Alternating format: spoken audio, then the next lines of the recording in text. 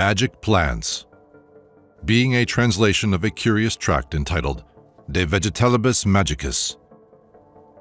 Written by M.J.H. Heucher Narrated by Matthew Schmitz. Introduction. The curious tract translated in the following pages is one of those strange compositions written in the 17th century wherein the writer, evidently a man of great erudition, endeavors to unmask what he considers the superstition of his age, but in his attempt at once exposes his own credulity. The belief in magic and witchcraft was almost universal in the Middle Ages and affected every class of society and all sorts and conditions of men.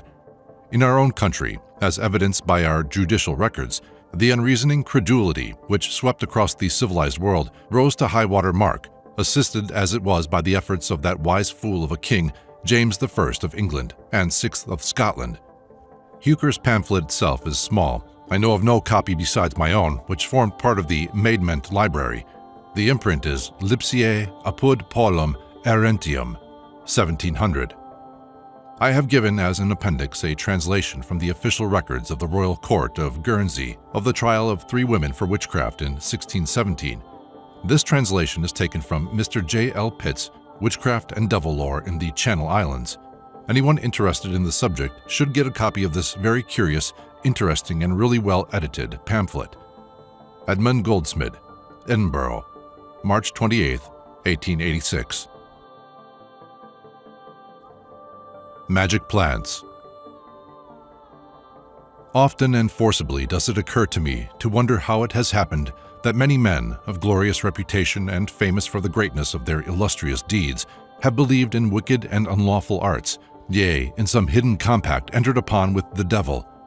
For passing over the dreadful blasphemies of the Hebrew nation against the Savior and the insolence of Hierocles, accusing of sorcery both him and his most holy disciples, chiefly Peter and Paul, and also the impious attacks of Plinius and Apuleius against Moses, and the false ideas of Theophilus of Alexandria and Eustathius of Antioch about Origen and of the Arians about Athanasius, I find the great names of Pythagoras, Plotinus, Iamblichus, Porphyrius, Caecus Asculanus, Anselm of Parma, Peter of Eponum, Albertus Magnus, Frischlinus, Henricus Cornelius Agrippa, Michael Scott, and Roger Bacon, and finally the names of even the popes Sylvester II and Gregory VII, mentioned in the catalogues of renowned magicians, and concerning all of these, it is clearly confirmed that they stood out from the crowd as illustrious and of great celebrity, as men whom a lofty spirit and intellect separated from the vulgar herd of literati.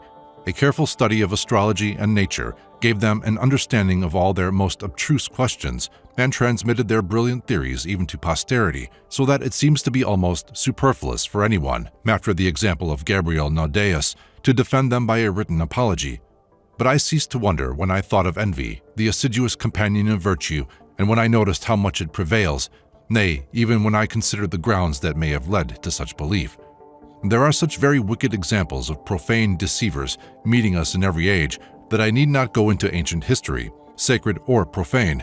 The more recent writings of Dr. Faust, Zedechias the Jew, Scotus Parvus, Christophorus Wagners, the three Eschals of Merlinus and Magus, or of Naudaeus, if you prefer magic romances, suffice.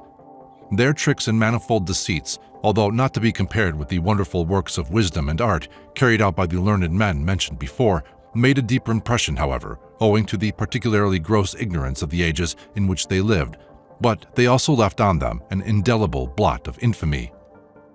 For such barbarity and want of knowledge existed in their time, that every class of learning which was not of the common kind was looked upon with suspicion, and men, carried away by their own base ideas, erroneously thought it had been drawn from the most filthy lake of hell.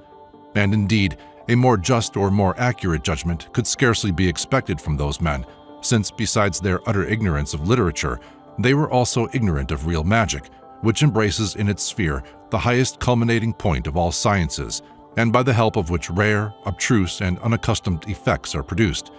For be it far from me to assent to the opinion of those who, with Thomas Erastus and his defender Georgius Hornius, renounce all magic and condemn it as illicit and low, since all those reasons which they have hitherto brought before the public are open to many objections, and if they do prove anything, it is nothing else than the legitimate use of magic, as very often happens in other cases, has been brought into disrepute by abuse.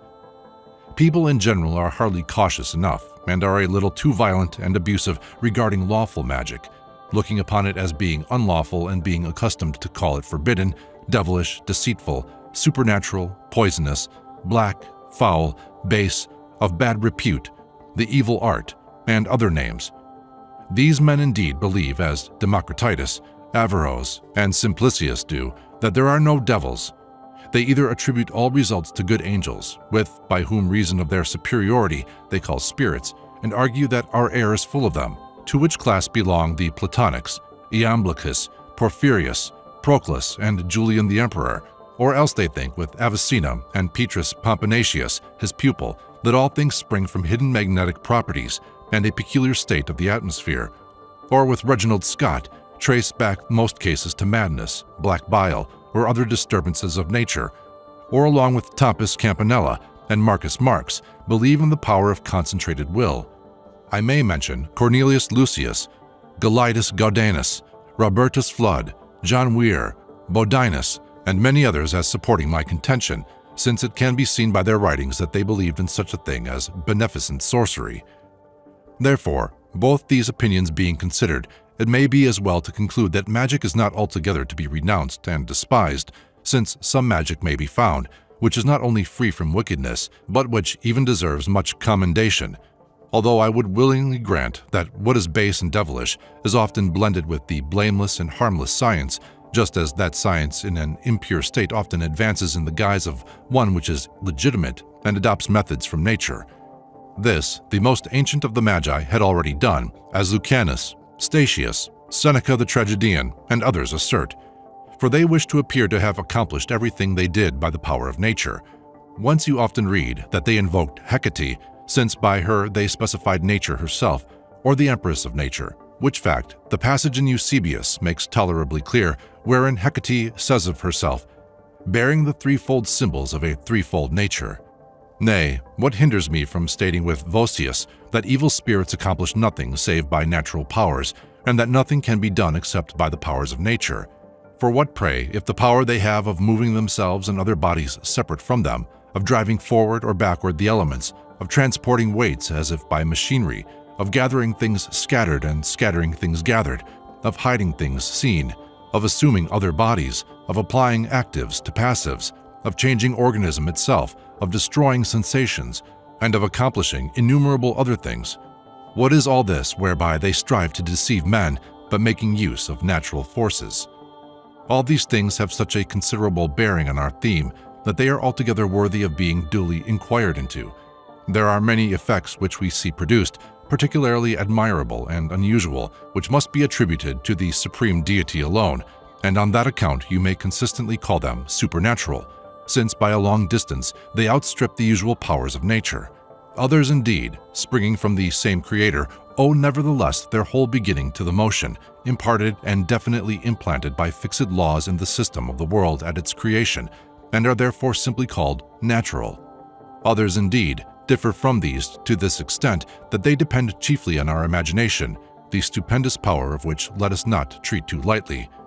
And we believe there are some allied to these, which emanate from superstition, as Theophrastus very well shows in his Characters.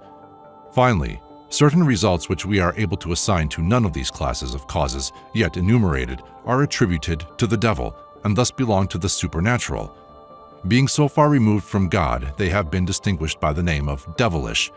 Moreover, to this list I would add all those which, although they depend on and proceed solely from some evident natural cause, nevertheless, because the devil mixes himself up with them, pretends that they are his own work and feigns that he is their author, deserve to be called devilish as well as magical.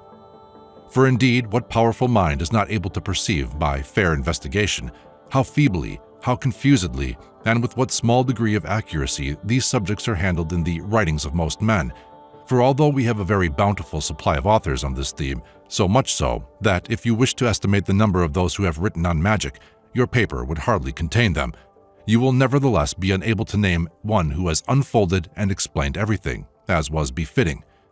I will not, at this time, discuss all magic, which indeed these little pages would not contain, but I place before myself as my theme, for the present at least, the vegetable kingdom alone, in which the industry, if not of all, at any rate of many has failed to enlighten us, and since, so far as I know, former writers have recorded in their writings far too little about magic plants, I will devote myself to this, if I may use the expression, fruitful subject.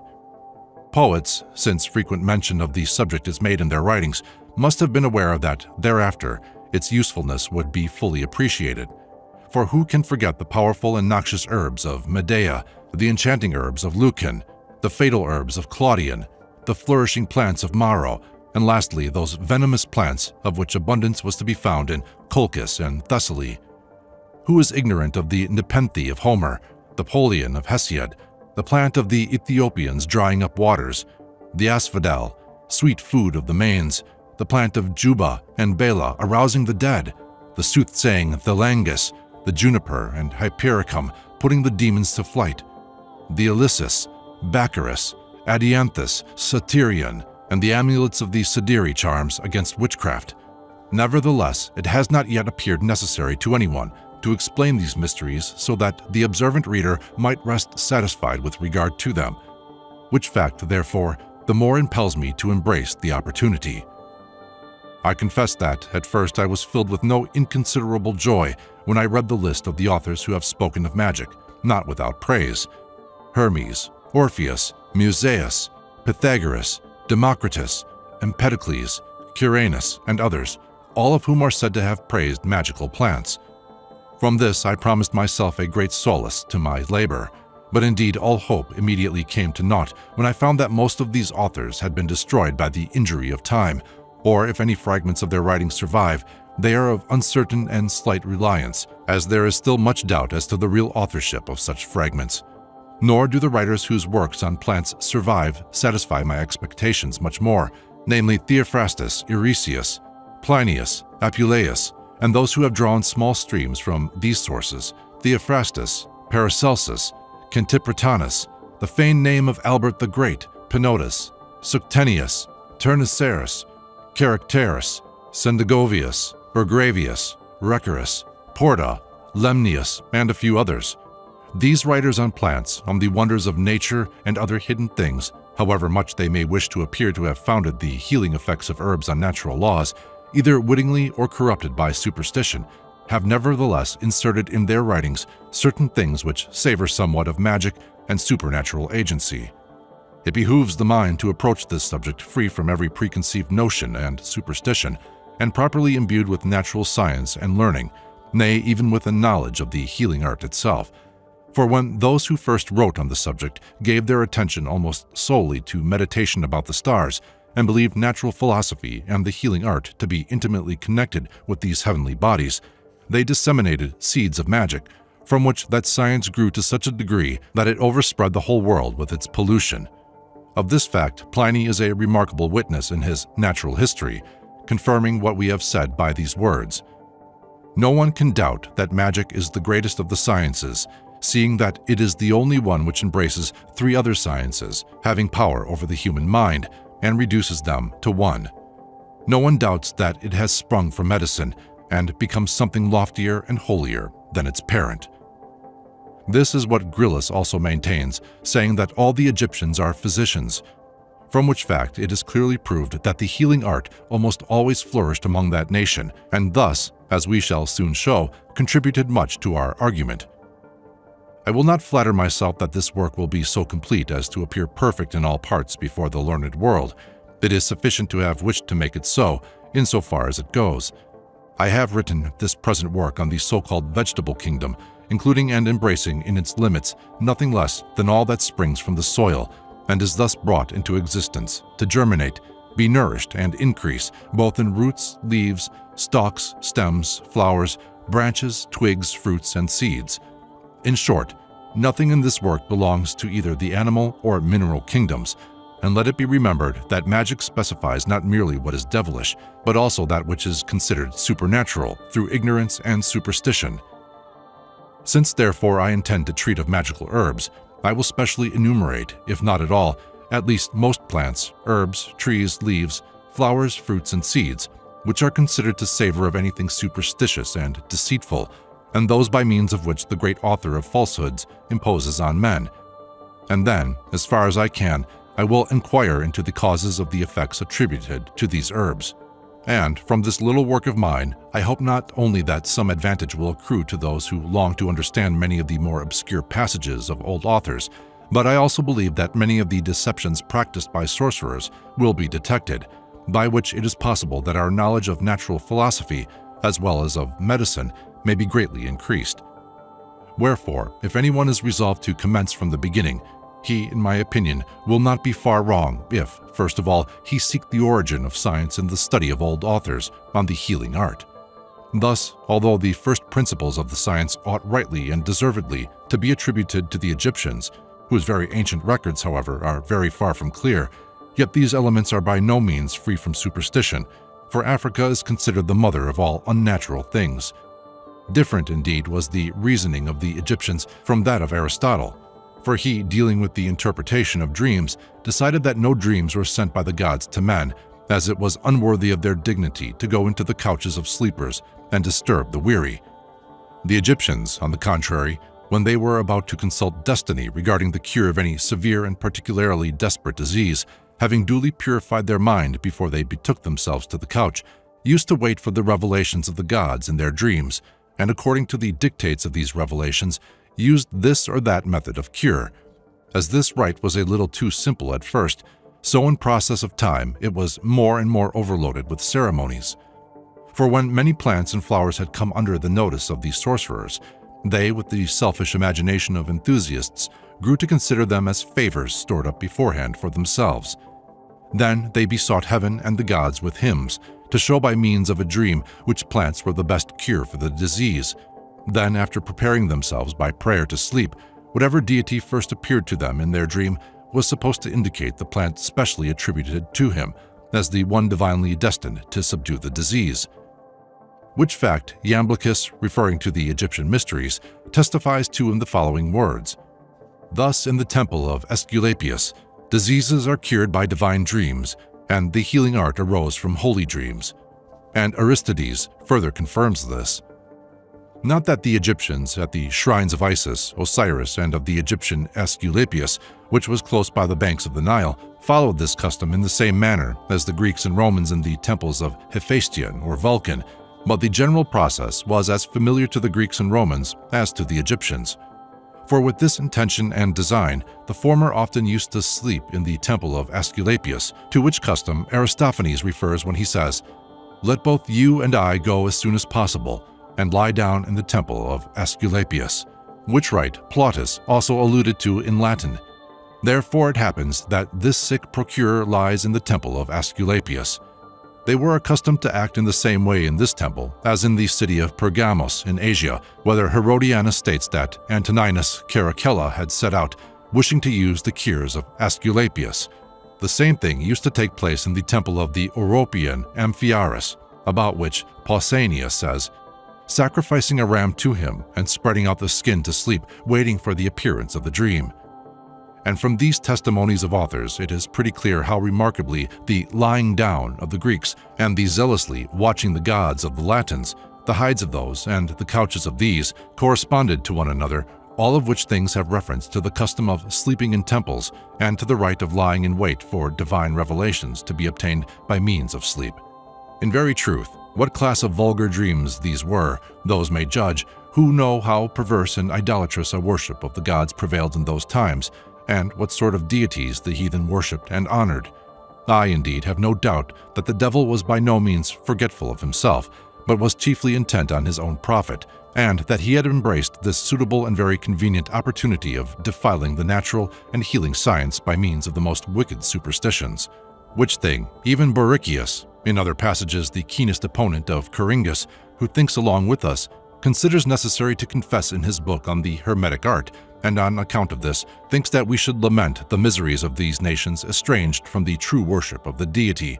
Nevertheless, Kircherus, in his Oedipus Aegyptiacus, seems to have spoken too strongly about these enchantments of dreamers, since he thought that, although this plan of curing afforded wonderful results even in lamentable diseases, these were by no means to be ascribed to the natural power and quality of the plants, but to a hidden compact and treaty with demons. For although very often cures have been effected, the plants used in which have only been an outward sign, the devil supplying the actual power of curing, no one, nevertheless, will hesitate to assert that none of those remedies, acting in a natural way, have displayed a power and efficacy of their own.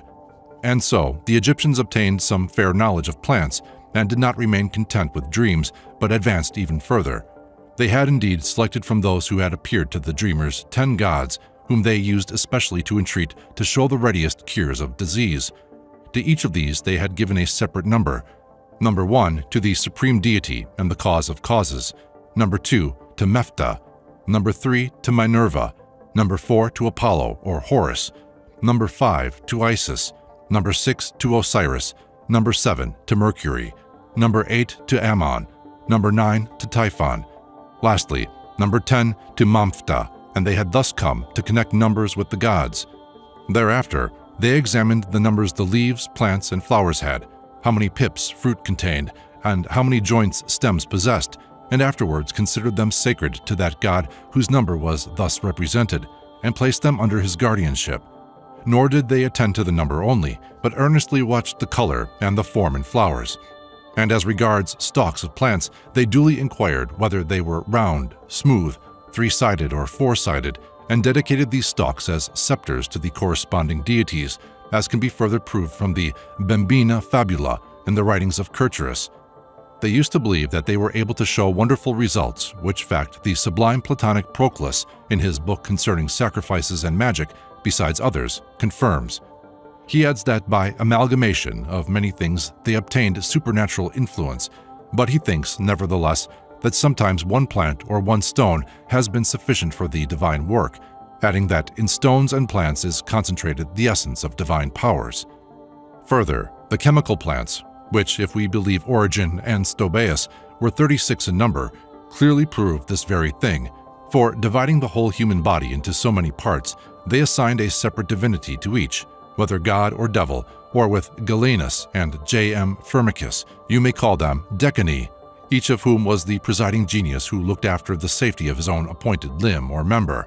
and if a man lost the health of any member, they persuaded themselves that it could be recovered, its respective deity being invoked by the name peculiar to himself and propitiated by the plant dedicated to himself. Firmicus, Hephaestion the Theban, and Manilius differ among themselves about the decani and their number, whether there were 36 only, three always being given to each sign of the zodiac, or whether indeed there were more, or whether every one of these had under him his own subordinates and fellow workers. I am content to believe that they were divided according to the 12 signs of the zodiac, possessed of unlimited power over the whole human body, and were wont to be propitiated by certain plants. Nay, it was a proper and extremely common custom to appoint two separate signs, nay, to separate constellations, their own herbs. Ibn Rahman, the Arabian philosopher, moreover, relates that they chose for use as medicines all forms of nature and grades of beings which possessed any resemblance to or quality in common with the seven planets.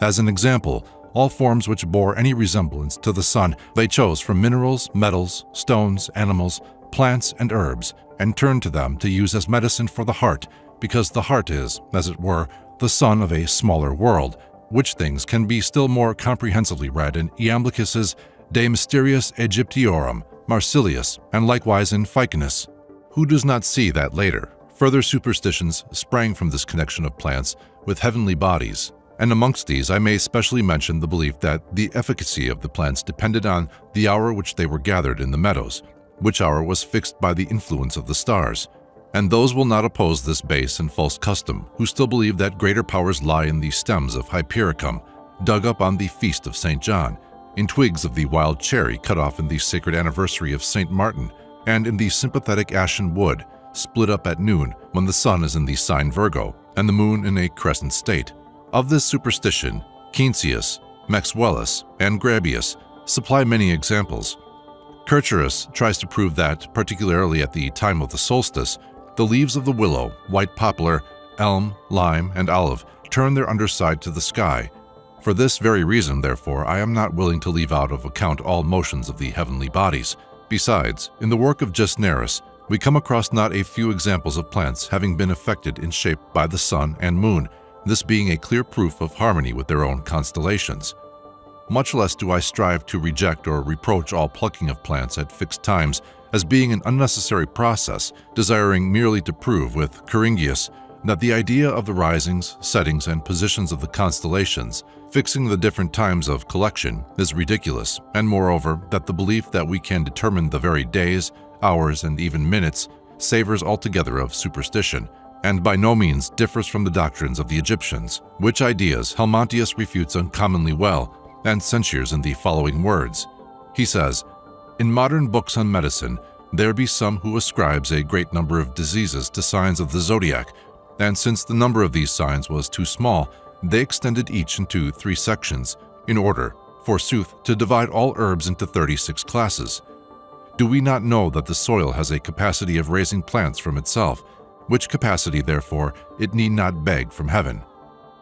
Finally, concerning the appointment of plants to the seven planets, I have nothing to say except that the very number of the planets now known sufficiently silences the theory. Neither, however, is it right in making researches about plants to believe that all the science of the Egyptians was magic, although I cannot but greatly approve of the way they judged of the excellence of herbs by the help of their external senses.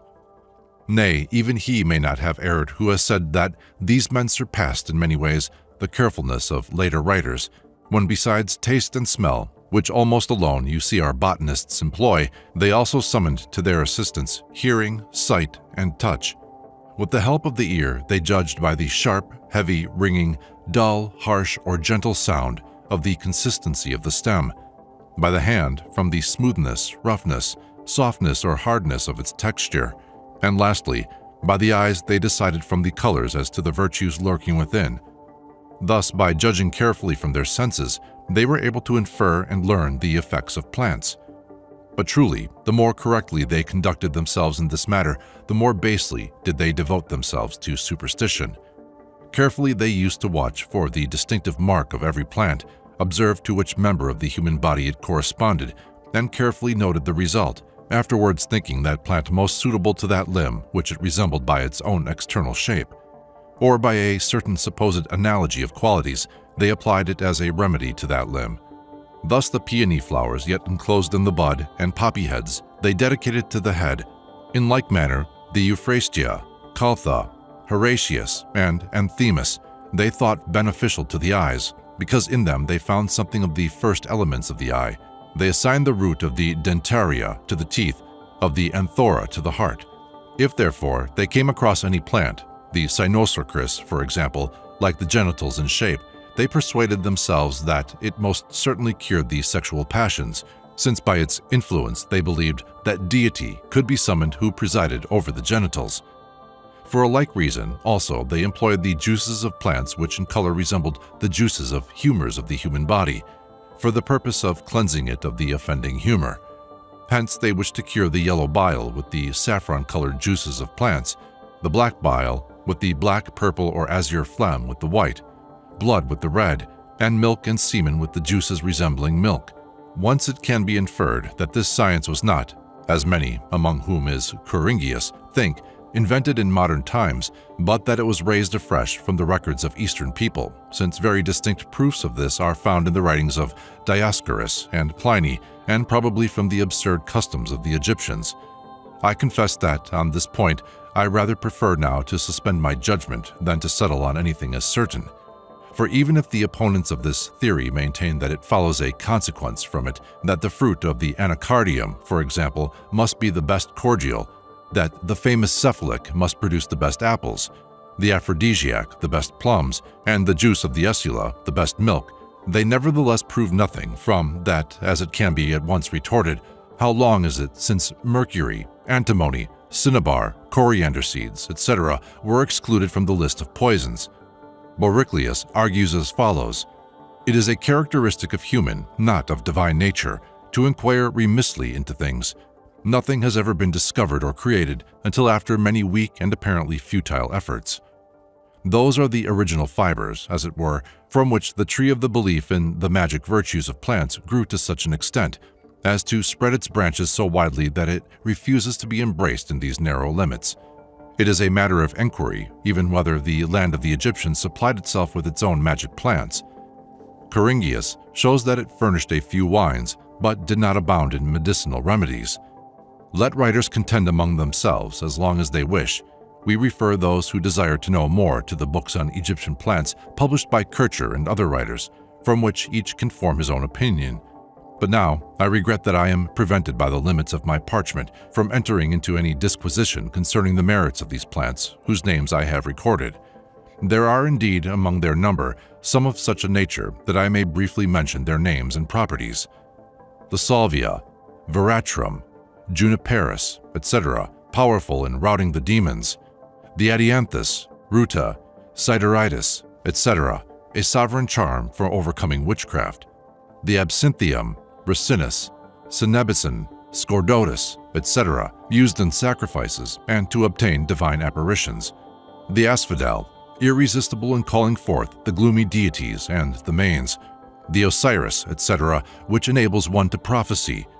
The Loris, Theangelus, Halakkabi, Belanacia, Vatica, etc., which brings on madness, ravings, and sleep. Strychnon, Thalassical, Gelatophilus, Samasum, the plant of Nectanebus, the olive, Mandragora, Catanance, Samos, Anacampseros, etc., which enter into the composition of aphrodisiacs or love potions. The Hieracium, the Ambrotium, Bali, Juba, etc., said to have power to rouse from death itself. I shall with care explain, time and opportunity permitting, the qualities of these and many other plants, but meanwhile I must bid thee farewell, benevolent reader. Appendix Confessions of Witches Under Torture before Amice de Carteret, Esquire, bailiff, and the jurats. July 4, 1617. Sentence of death. Colette Dumont, widow of Jean Becquet, Marie, her daughter, wife of Pierre Massy, and Isabelle Becquet, wife of Jean Lemoyne, being by common rumor and report for a long time past addicted to the damnable art of witchcraft, and the same being thereupon seized and apprehended by the officers of His Majesty James I,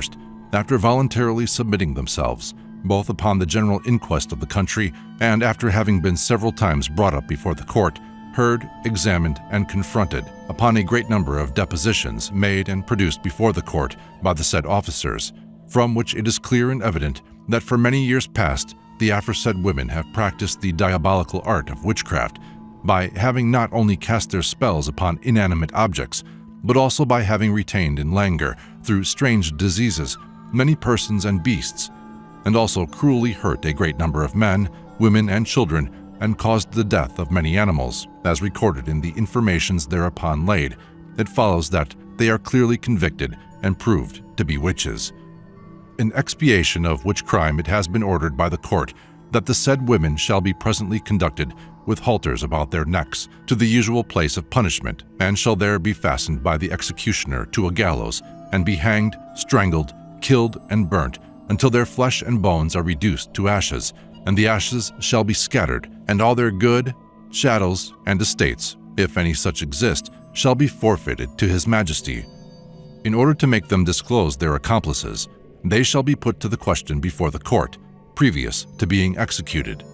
Sentence of death having been pronounced against Colette Dumont, widow of Jean Becquet, Marie, her daughter, wife of Pierre Massy, and Isabelle Becquet, wife of Jean Lemoyne, the same have confessed as follows.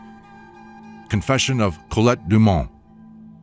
First, the said Colette, immediately after the said sentence was pronounced, and before leaving the court, freely admitted that she was a witch. At the same time, not wishing to specify the crimes which she had committed, she was taken, along with the others, to the torture chamber, and the said question being applied to her, she confessed that she was quite young when the devil, in the form of a cat, appeared to her in the parish of Torteval. As she was returning from her cattle, it being still daylight, and that he took occasion to lead her astray by inciting her to avenge herself on one of her neighbors, with whom she was then at enmity on account of some damage which she had suffered through the cattle of the latter, that since then, when she had a quarrel with anyone, he appeared to her in the aforesaid form, and sometimes in the form of a dog, inducing her to take vengeance upon those who had angered her, persuading her to cause the death of persons and cattle. that the devil, having come to fetch her that she might go to the Sabbath, called for her without anyone perceiving it, and gave her a certain black ointment, with which, after having stripped herself, she rubbed her back, belly, and stomach, and then having again put on her clothes, she went out of her door, when she was immediately carried through the air at a great speed, and she found herself in an instant at the place of the Sabbath, which was sometimes near the parochial burial ground, and at other times near the seashore in the neighborhood of Rocquaine Castle, where upon arrival she met often 15 or 16 wizards and witches with the devils who were there in the form of dogs, cats, and hares, which wizards and witches she was unable to recognize because they were all blackened and disfigured. It was true, however, that she had heard the devil summon them by their names, and she remembered among others those of Fallois and Hardy, confessed that on entering the Sabbath, the devil, wishing to summon them, commenced with her sometimes, admitted that her daughter Marie, wife of Massey, now condemned for a similar crime, was a witch, and that she took her twice to the Sabbath with her. At the Sabbath, after having worshipped the devil, who used to stand up on his hind legs, they had connection with him under the form of a dog. Then they danced back to back, and after having danced, they drank wine. She did not know what color it was, which the devil poured out of a jug into a silver or pewter goblet which wine did not seem to her so good as that which was usually drunk. They also ate white bread, which he presented to them. She had never seen any salt at the Sabbath. Confessed that the devil had charged her to call, as she passed, for Isabelle Le Monnier when she came to the Sabbath, which she had done several times. On leaving the Sabbath, the devil incited her to commit various evil deeds, and to that effect, he gave her certain black powders, which he ordered her to throw upon such persons and cattle as she wished, with this powder, she perpetrated several wicked acts, which she did not remember. Among others, she threw some upon Mr. Dolbell, parish minister, and was the occasion of his death by these means. With this same powder, she bewitched the wife of Jean Maguire, but denied that the woman's death was caused by it.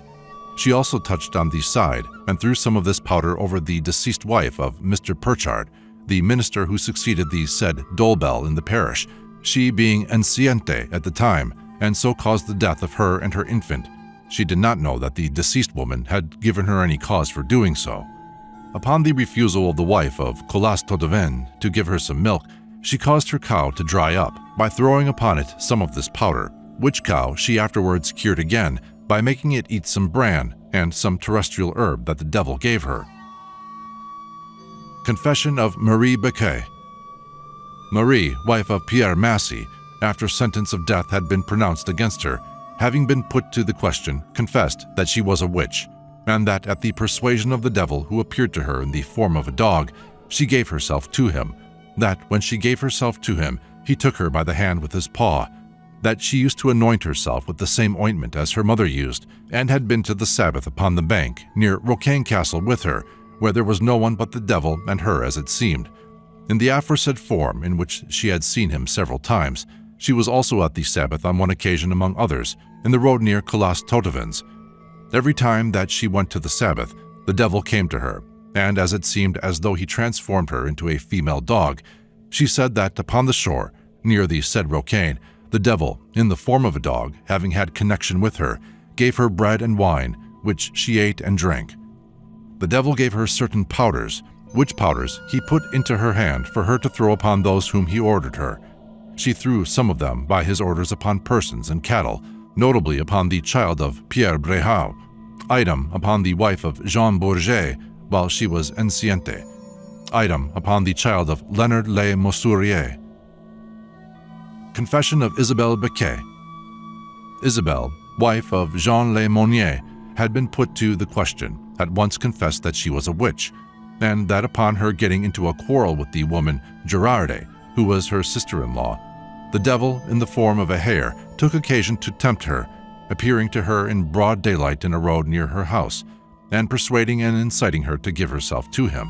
and that he would help her to avenge herself on the said Girardet and everybody else, to which persuasion she would not at the moment consent to yield. So he at once disappeared. But very soon he came again to her in the same road, and pursuing his previous argument, exhorted her in the same terms as above. That done, he left her and went away after having previously given her a sackful of parsnips. She then took a certain black powder wrapped in a cloth in which he placed it, which powder she kept by her. He appeared to her another time under the same form in the town district, inciting her anew to give herself to him. But she, not wishing to comply, he next made a request to her to give him some living animal, whereupon she returned to her dwelling and fetched a chicken, which she carried to him to the same place where she had left him, and he took it. And after having thanked her, he made an appointment for her to be present the next morning before daylight at the Sabbath, promising that he would send for her, according to which promise, during the ensuing night, the old woman, Colette Dumont, came to fetch her and gave her some black ointment, which she had had from the devil. With this, after having stripped herself, she anointed her back and belly. Then, having dressed herself again, she went out of her house door. When she was instantly caught up and carried across hedges and bushes to the bank on the seashore in the neighborhood of Rocquaine Castle, the usual place where the devil kept his Sabbath, no sooner had she arrived there than the devil came to her in the form of a dog, with two great horns sticking up, and with one of his paws, which seemed to her like hands, took her by the hand, and calling her by her name, told her that she was welcome. Then immediately the devil made her kneel down, while he himself stood up on his hind legs. He then made her express detestation of the Eternal in these words I renounce God the Father, God the Son, and God the Holy Ghost, and then caused her to worship and invoke himself in these terms Our great Master, help us, with a special compact to be faithful to him. And when this was done, he had connection with her in the aforesaid form of a dog, but a little larger. Then she and the others danced with him back to back. After having danced, the devil poured out of a jug some black wine, which he presented to them in a wooden bowl, from which she drank, but it did not seem to her so good as the wine which is usually drunk. There was also bread, but she did not eat any, confessed that she gave herself to him for a month. They returned from the Sabbath in the same manner that they went there. The second time she was at the Sabbath was after the old woman Colette had been to fetch her, and she anointed herself with the ointment as above stated, declared that on entering the Sabbath, she again had connection with the devil and danced with him. After having danced, and upon his solicitation to prolong the time, she gave herself to him for three years. At the Sabbath, the devil used to summon the wizards and witches in regular order. She remembered very well having heard him call the old woman Colette the first in these terms Madame the old woman Becquet, then the old woman Felois, and afterwards the woman Hardy. Item, he also called Marie, wife of Massey and daughter of the said Colette. Said that after them she herself was called by the devil. In these terms, the little Becquet. She also heard him call there Colas Becquet, son of the said old woman who, Colas, held her by the hand in dancing, and someone, a woman whom she did not know, held her by the other hand. There were about six others there she did not know. The said old woman was always nearest to the devil. Occasionally, while some were dancing, others were having connection with the devils in the form of dogs. They remained at the Sabbath about three or four hours, not more. While at the Sabbath, the devil marked her at the upper part of the thigh, which mark having been examined by the midwives, they reported that they had stuck a small pin deeply into it and that she had not felt it, and that no blood had issued. She did not know in what part the devil had marked the others. Those who came first to the palace of the Sabbath waited for the others, and all the wizards and witches appeared in their proper forms, but blackened and disfigured so that they could not be recognized. The devil appeared sometimes in the form of a goat at the Sabbath. Never saw him in other forms, on their departure, he made them kiss him behind and asked them when they would come again. He exhorted them always to be true to him and to do evil deeds, and to this end he gave them certain black powders wrapped in a cloth for them to throw upon those whom they wished to bewitch. On leaving the Sabbath, the devil went away in one direction and they in the other, after he had taken them all by the hand. At the instigation of the devil, she threw some of the powder over several persons and cattle, notably over Jean Jehan when he came to her house to look for a pig. Item, over the child of James Galien and over others. Item, over the cattle of Brorart and of others. It was the devil that was seen at the said Galien's house in the form of a rat and a weasel, she herself being then in the neighborhood of Galien's house, and he, the devil, came to her in the form of a man and struck her several blows on the face and head, by which she was bruised and torn in the way that she was seen the next day by Thomas Sohier.